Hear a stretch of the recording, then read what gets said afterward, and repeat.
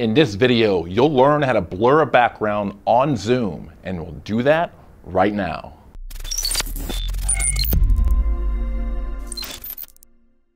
Hey, what's up y'all? This is Brian White and welcome back to Video Zeus. On this channel, we produce weekly content for creators, educators, and marketers, all in an effort to help you master video so you can do anything.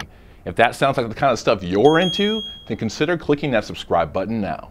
Zoom users can now blur their background inside Zoom itself. The blurred background is another option rather than selecting a specific virtual background, and it can help mask an otherwise unbranded background, providing a level of privacy when your background is less than ideal. However, in order to use the blur effect in Zoom, your machine must meet the system requirements for virtual backgrounds without a green screen. I'll place a link below so you can review the Zoom virtual background system requirements for yourself. It's also important to include that the blur background feature is not currently supported on smartphones or tablets using the Zoom mobile app. One of the blur methods I'll show you in this video can also be used to blur your background on mobile. So watch this video until the end to fully comprehend your options.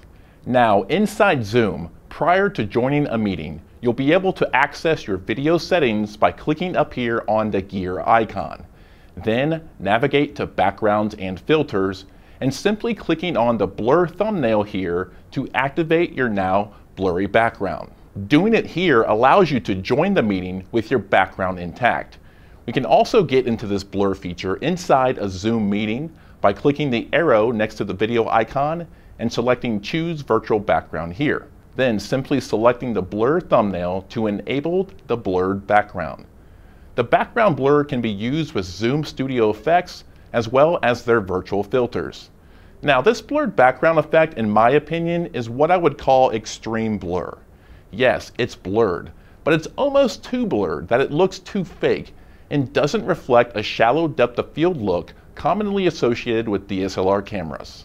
So another option is to create your own blurred background to control the amount of blur effect. I have a full tutorial that walks you through each step of this process linked above.